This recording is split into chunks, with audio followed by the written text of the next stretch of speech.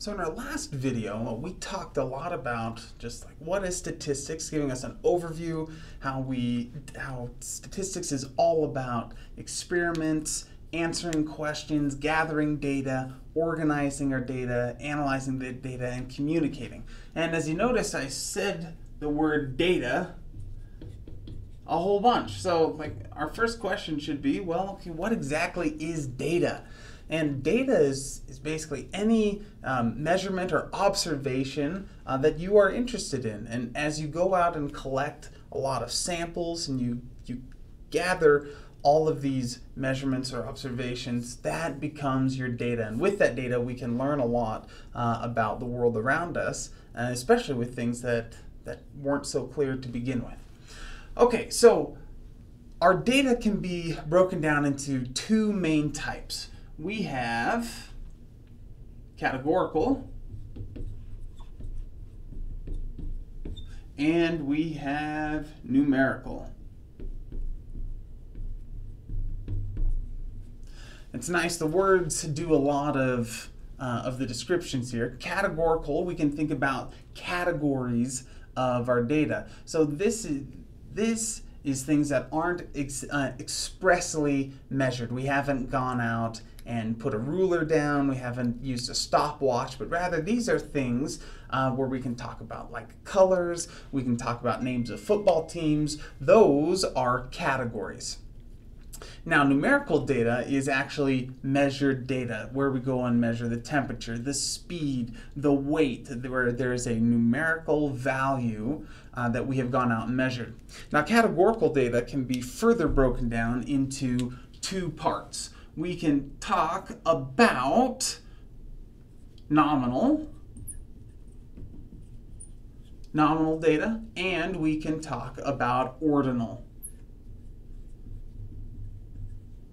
Okay, so nominal data is data that is categories, so we've got labels of things, and it doesn't have any real set order. So we could look at things like color, we could look at things like names, uh, we could look at things like models of a car, or where we can rearrange the data uh, without losing uh, a lot of the uh, we can we can rearrange the data without losing losing meaning. Now, ordinal is a little different. It's categorical data that actually has a um, a set order, and things like this we can do grades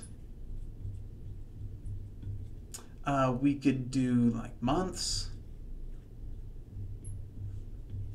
So these are things that have a natural order to them uh, that, that we're going to put them in, but they don't necessarily have like a fixed uh, measurement. Uh, so those are two different types of categorical data, that kind of breakdown there. Now let's look at numerical. So we've got a couple options here as well. We have interval, Right, so interval data is data where we have um, a specific distance uh, between two points, but there's not really a set zero point. So one example could be like temperature, and another one that we could use is like date. Okay, so these ones don't have like a fixed zero point, uh, and we can, we can kind of see some of this by if we try to do division. If division doesn't make sense here, then it, uh, it probably is a good indication that we don't have interval data. So let's look at an example real quick. So let's ask ourselves, is 100 degrees Fahrenheit two times as hot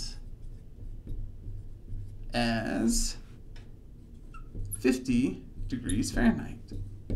Now, what do you think?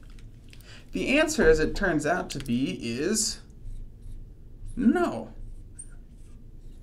And the kicker here is because the zero point for this scale is kind of arbitrarily set.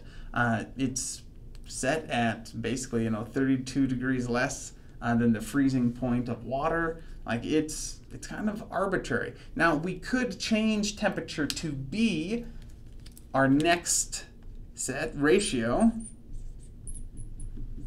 if we use like a Rankine scale or a Kelvin scale where absolute zero is there is no heat at all, and then we can talk about how this is twice as much. Same thing as date. Like, is the year 1000 half as much time as the year 2000? And the answer is, well, not, not really, because the time goes way further back than just where we have it arbitrarily set at zero right now. Okay, so but ratio is it's so it's numerical where there are specific set distances between and there is a fixed zero point. So we could say things like weight, weight and speed. Those are both good examples of ratio data.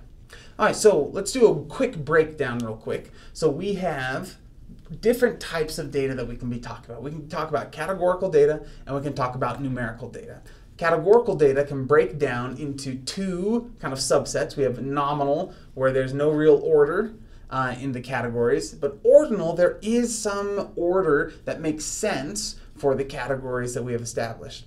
And then when we look at numerical, we've got, once again, two types as well. We've got interval and we've got ratio. Interval, there are set um, set distances between measurements, but there isn't a like a logical zero point or a natural zero point. Ratio, there is a zero point, a, a reasonable one, and there is set distances between. The easiest way to tell the difference between the two is if we divide if we divide one answer by the other, um, or if, if we take like a temperature, we divide it by two and we ask here, is it twice as hot? This doesn't make sense and that's a good indication that we do not have interval data. But if we can do division, we know that the ratio data actually makes sense.